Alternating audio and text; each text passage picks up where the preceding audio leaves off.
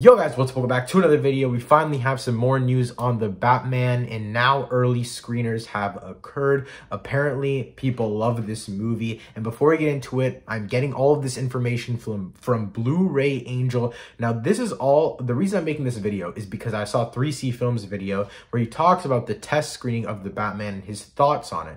The person that he got the test screening information from is a guy on Twitter named Blu-ray Angel. He also, he's also really famous on TikTok. And he said that one of of his friends got the early screener for the Batman. I'll put the tweet up on screen right now. 3C Films is, in my opinion, a very trustworthy guy, and he said that Blu-ray Angel is a very trustworthy guy, and he knows Blu-ray Angel wouldn't lie about this stuff just for the clout, so that's why I believe all of this. Before we get into breaking down all of the news from the test screener and my thoughts on it, make sure that, that subscribe button and turn notifications on so you don't miss any time I upload a new video or I go live. I also talk about Batman a lot. I'm super excited for the movie. That's specifically why I'm making this video. So I want to start it off by talking about the first tweet that Blu-ray Angel posted. He said, exclusive exclusive. I know someone that has seen the hashtag Batman, a friend of mine and a really good person. Here's what they told me thread, no spoilers. Starting it off, he said that the Batman is a horror movie. Very graphic, very dark, very scary. Paul Dano is fucking crazy. So fucking scary. I loved every second. This gets me so excited, guys. I'm gonna be honest. I I'm I wasn't I wouldn't say I really wanted this movie to necessarily be just like horror because it's okay that it's not a horror movie. Like that's uh, that's what I was saying at first. But now that I'm seeing it's a horror movie, it's very dark, it's very scary. Paul Dano is insane. I'm super excited. Number one, Paul Dano is an absolutely insane actor. He's such a good performer. He's awesome in one of my favorite movies of all time, Prisoners. He's so great. Also, the fact that they said very graphic, that gets me really excited because apparently what happened was there was a leaked book, like a children's book, and usually obviously don't make children's books for movies that are rated R. So there's a lot of ways that you can get around being rated R and not being rated R and just sticking with PG-13 and still pushing the limit and boundaries a lot. And obviously you can do that a lot with storytelling. Telling a super dark story can make a movie feel like a horror movie. It doesn't have to be like blood all the time. And so I'm excited that they're making it work around that. The movie could very well be rated R. That's really fine with me. I don't think they do that, at least for the first one. Maybe the second and third one, they push the boundaries and they're like, okay, let's see how much money this makes being rated R. So I would love for them to experiment with that, but I don't think a movie has to be rated R to be good. And as of now, if I'm not mistaken, it is PG-13, at least from the inferences that we have from the children's book information. But other than that, I'm just so excited for the visuals in this movie because like they said, it's very dark and very scary. Also, apparently the Riddler is going to have Saw kind of traps where people have to escape out of it. One example was shown in the trailer where the guy has a bomb strapped to him and he has a and he has a card on it that says to the Batman. And so that is so cool. And I'm excited to see how creative Matt Reeves gets with that whole horror aspect of it. All right, guys, so I'm currently editing the video. We just got even more news from Blu-ray Angel. I'm just going to read it out loud and I'll put the stuff on screen right now on the side right here.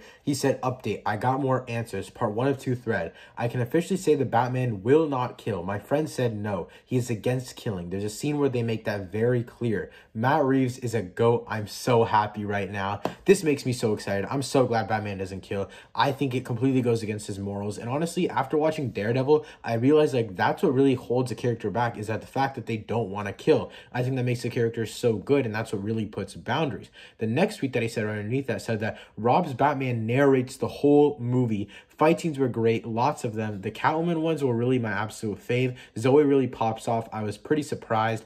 Alfred has significant scenes. There's blood teetering between thriller and horror. LFG, I'm excited. Okay, so number one, Robert Pattinson narrates the whole movie. That is insane. I'm I just I, I can't wait. Like a, a narrated Batman movie from Bruce Wayne, Batman himself. That's insane. The fight scenes were great. I'm so excited for the fight scenes. I love the fight scenes that they showed in the trailer, just a little bit of them. And then Alfred has significant scenes. I was scared that Alfred would really be put on the side because I feel like Alfred's really important to Bruce's character, especially in this movie where he's having that identity crisis. And I'm glad that Alfred is having significant scenes. There's a lot of blood teetering between thriller and horror. That gets me so excited. You guys know me. I'm a sucker for bloody movies, bloody TV shows, brutal heroes. And the fact that he's brutal but still not killing, that gets me really excited. But without wasting more time, let's get back to the video.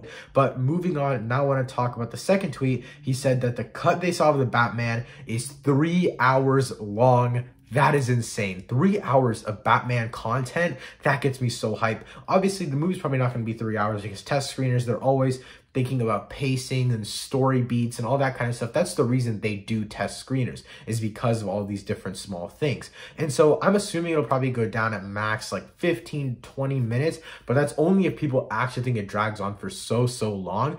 I don't think it would be cut more than 20 minutes. I'm thinking 15, two hours and 45 minutes of Batman footage Mm-mm-mm. That that is just that is so perfect to me. I just I I physically cannot think of having three hours of Batman footage. That is just so perfect to me. That gets me so excited. And I know after all every single one of these tweets that I read, I'm gonna say I'm so excited.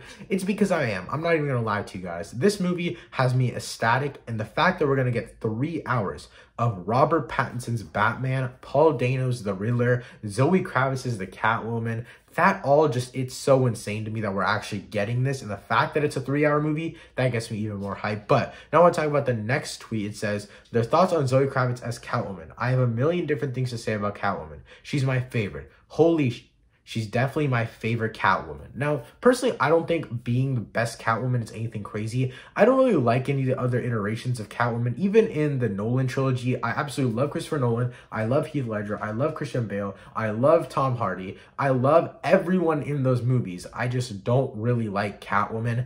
Honestly, I haven't seen any of the other Batman movies before this. I've seen like clips of older ones, but overall, I don't really watch that many Batman movies but I love the character of Batman. I just don't really care for the character of Catwoman. I will say in the Long Halloween part one and part two, Catwoman was absolutely perfect. I loved her so much. Her writing was so perfect. She had just enough inclusion in the Batman's life to where it didn't feel like annoying that she was still there, but it just felt she was she just added so much to those two movies, and I think that she can add so much here. I love Zoe Kravitz in Mad Max Fury Road. She was absolutely awesome. I think that's the only performance I've seen her in though, but overall, nevertheless, I'm still excited excited for her as Catwoman. But the next next thing I want to talk about, the next tweet, it says their thoughts on Robert Pattinson's Batman voice. His voice was perfect in my opinion. This, okay, here's the thing. I knew Batman was I knew Robert Pattinson was gonna be a perfect Batman. I was never doubting Robert Pattinson since the day that they announced it. I've always been a fan of Robert Pattinson. I absolutely love the man, and I think that he is to play a perfect Batman. I don't know if I've showed you guys this already, but I do have a Robert Pattinson magazine. I love the man so much. I think that he's an absolutely perfect actor. I love him in Good Time. I love him in The Lighthouse. I love him in all of his movies. I'm actually working on watching through all of the Twilight movies for the first time, just so I can get more of a feel for his acting. Obviously, that was a long time ago. His acting style has definitely changed over time from telling, like telling from people that have seen the Twilight movies and his newer stuff People say he's way better now, obviously, but I still want to see all of like a lot more of his acting performances. And I'm just so excited for him in this movie specifically because I just think he's so perfect as Batman. Like, I love the grounded take. I will say, Robert Pattinson's voice when he said I am vengeance was literally chef's kiss perfect. It was so good. I loved it so much. And it's like that, that really got me excited. Like at the end of the trailer when he goes, I'm vengeance, that like, I just jumped out of my seat. I think I fell off my chair. It was, it was insane. I was absolutely in love. But the next thing that the guy tweeted about, he said, their thoughts on Robert Pattinson's Batmobile, holy that slayed. I'll be honest, the Batmobile, I don't really like the tank feel of it. Like I okay, so here's the thing. I'm not even a fan of muscle cars, by the way. Like I think the muscle I think muscle cars are great, right? But I don't I'm not the biggest fan of them all the time. I think it works here. When we get that first look, I was absolutely in love with it. But I also just don't like the armored version. For example, Bale. I liked his Batmobile for a little bit, but over time it just it just felt so impractical, you know? Like why would you drive a whole tank down the street if you're Batman? You're trying to be sleek. It doesn't really make sense to me. So I I like that they're going for the muscle car and I like that they, it sounds like from what this guy said, uh, he absolutely loves it. And hopefully they utilize it a lot more in this movie, more than they at least did in the Nolan trilogy, because they barely use it in the Nolan trilogy. But now I want to talk about what this guy said afterwards. He said, update, I just asked if the Batman sets up for a sequel. Here's what they said. Yes, definitely a sequel. That, oh, moment. I genuinely felt like they're gonna start a whole collection of Rob Pat Batman movies and circle through diff villains, maybe. Okay, I know that sounded a little weird because he was using abbreviations for the Twitter letter count, but overall, this makes me so excited. And the fact that he said Rob Pat Batman movies, like a collection of them, not just a trilogy, that makes me even more excited because in all honesty, I think Warner Brothers should really stick with Robert Pattinson's Batman. I don't think that they need a recast after one trilogy. I think that if Reeves wants to keep it going, if Pattinson wants to keep it going, I think if the supporting characters want to keep it going, then keep it going. I don't really see a reason to stop and just keep rebooting they're making money, they should keep making the movies, in my opinion. Robert Pattinson, they definitely casted a Batman on the younger side of the age scale, and I think it really works. I think Robert Pattinson could play Batman for a long time. Just depends really what he wants to do, because obviously he still likes to play other roles. I don't think he wants to play Batman every single year of his life. I think at a certain point that could get really boring, honestly, just really annoying for an actor.